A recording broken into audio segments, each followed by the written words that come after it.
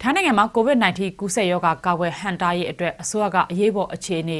ညမထွက်ရအမိန့်တွေထုတ်ထားပြီးလုပ်ငန်းတွေလည်းပိတ်သိမ်းထားတာကြောင့်လူတွေတန်းနဲ့ချီပြီးအလုံးလက်မဲ့ဖြစ်နေရပါတယ်။အလုံးလက်မဲ့ဖြစ်ရတဲ့သူတွေအတွက်အစိုးရကထိုင်းနိုင်ငံသားတွေဆိုရင်တရက်ကိုပတ်9000စီ3လ ထောက်ပံ့ပေးနေပြီးတော့ရွှေပြောင်းအလုပ်သမားတွေအတွက်ကတော့လူမှုရေးအာမခံလှုပ်ထားတဲ့ဆိုရင်သက်ဆိုင်ရာအလုပ်သမားကာကွယ်စောင့်ရှောက်ရေးရုံးတွေမှာထောက်ပံ့ကြေးတွေရယူနိုင်တယ်လို့အစိုးရကကြေညာထားပါတယ်။အခုလိုကြေညာထားပေမဲ့လည်းရွှေပြောင်းအလုပ်သမားတွေအနေနဲ့တကယ်လက်တွေ့သွားထုတ်ယူဖို့မှာတော့အခက်အခဲတွေရှိနေတယ်လို့ရွှေပြောင်းအလုပ်သမားအရေးဆောင်ရွက်နေတဲ့အဖွဲ့အစည်းတွေကပြောပါတယ်။